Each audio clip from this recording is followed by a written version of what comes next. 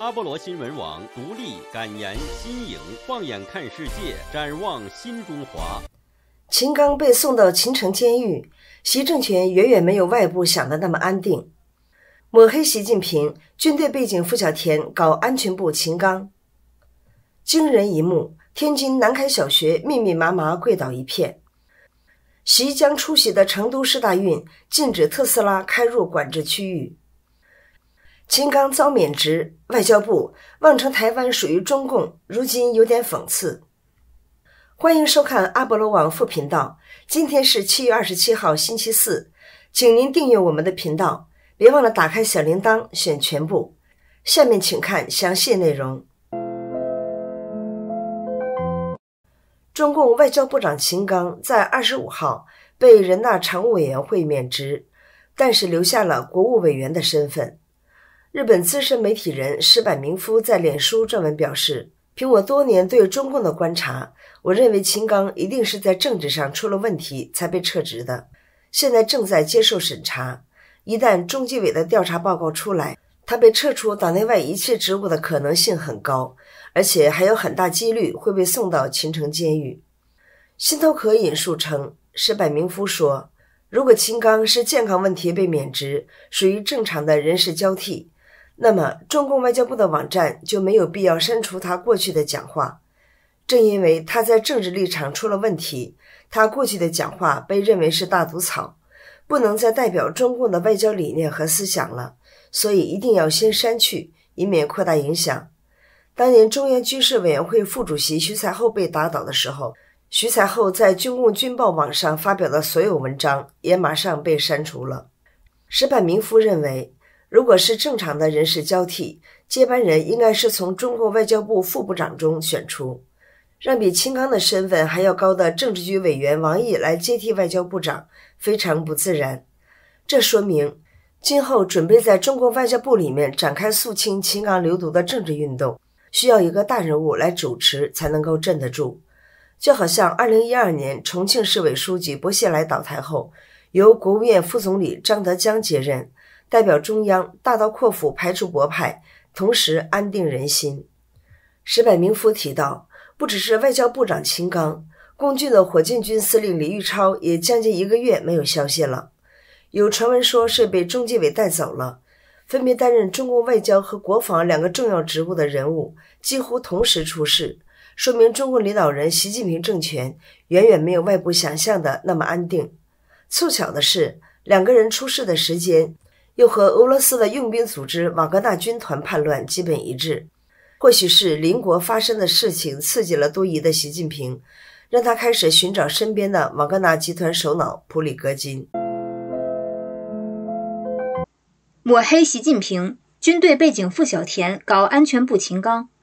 中国民主运动活动家魏京生在精英论坛节目表示，这次说秦刚什么私生子这些东西，在网络上没有被删除。国内网络上炒作也很热闹，就是说这个炒作是有官方背景的，能够不受控制散播这些东西，在很大程度上就是抹黑习近平。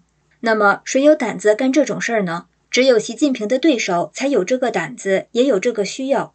另外就是付小田的背景跟军队系统是有关的，凤凰卫视实际上是总参的背景，但是总参系统出来的这么一个人。整个媒体都在帮着炒作，炒作秦刚的丑闻。那么，在这个情况下，可以说习近平对军队的掌控也非常成问题。魏京生说，军队的情报系统和安全部的情报系统从来就不太对付，这两个大系统也还有好多小的部门。这是因为毛泽东不太愿意搞一个情报系统。从战争年代的时候，从三十年代开始，就是两套情报系统分开搞，互相监督。就造成互相扯皮，现在就是互相争斗，变得非常厉害。所以在这个情况下，可能整个军队情报系统都起来搞安全部的这个情报员，而且搞得习近平有点举棋不定，左右为难，这就很有意思。最近中国发生无比壮观的一幕，无数家长跪在天津南开小学下跪，要求更换校长。推特账号李老师不是聂老师二十六号发文表示，这件事发生在七月二十五号，原因是天津南开小学打算九月份让学生搬进还在装修的教室，引发家长对甲醛问题的担忧，家长才一同下跪要求更换校长。影片显示，浩大的人群聚集在校园中，并集体下跪。天津南开小学充满了密密麻麻的人，代表许多关切孩童健康的家长们，对学校决定感到担忧与不满。网友们纷纷在文章下留言说。集体请愿还行，下跪可笑可怜，大事小事都下跪，真是跪习惯了呀！好一个民愤，一民愤就下跪哀求。公正是由公正的体制制度作为保障，才会有真正的公正。下跪求不来公正，只会越来越不公正。彭博新闻报道，消息人士透露，本周五二十八号。即将举行世界大学生运动会开幕典礼的成都，已在部分区域禁止行驶特斯拉电动车。这个有两千一百万人口的四川省都会，在连续延期两次后，终于在今年举行二零二一年度的世大运。中共国家主席习近平与印尼总统等数名外国政要都将出席开幕典礼。由于事涉未公开的敏感事项，这些消息人士要求匿名。他们表示，成都市当局已经要求禁止特斯拉进入与此次运动会和习近平访问相关的部分地区。中国社群网络抖音上发布的一段影片显示，一名驾驶特斯拉的司机被拒绝进入成都的一个场所。影片中，一名交通警察解释说，他只是按照市大运的官方规定办事。这条影片已经遭到抖音下架，但仍在一些社交媒体上流传。成都将在市大运期间实施更广泛的交通管制措施，包括禁止民间车辆通行一些街道。该运动会将于八月八号举行闭幕式，开幕与闭幕典礼时都实施广泛的无线电管制，对无人机、空拍机划出禁航区。特斯拉为了达到自动驾驶的能力，车上有相当多的镜头与传感器，而且会不断回传资料给特斯拉。二零二一年，中国解放军禁止特斯拉进入军事营区。中共外交部长秦刚消失一个月后遭免职。台湾外交部二十七号召开例行记者会，发言人刘永健回应媒体表示，外交部对于中共外长异动的原因没有评论。三立新闻网报道，刘永健说，秦刚担任外长的时间不长，外界印象也不深。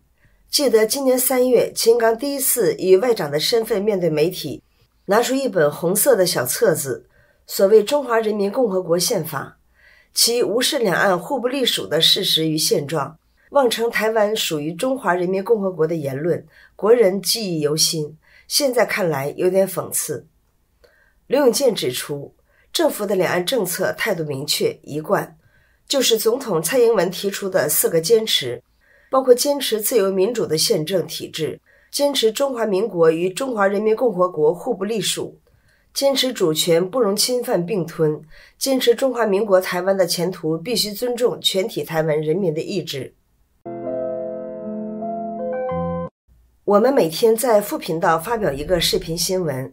阿波罗网是独立媒体。没有政府和机构资助，朋友们每一次按动油管的特别感谢，都让我们深深地感受到您的关爱和支持。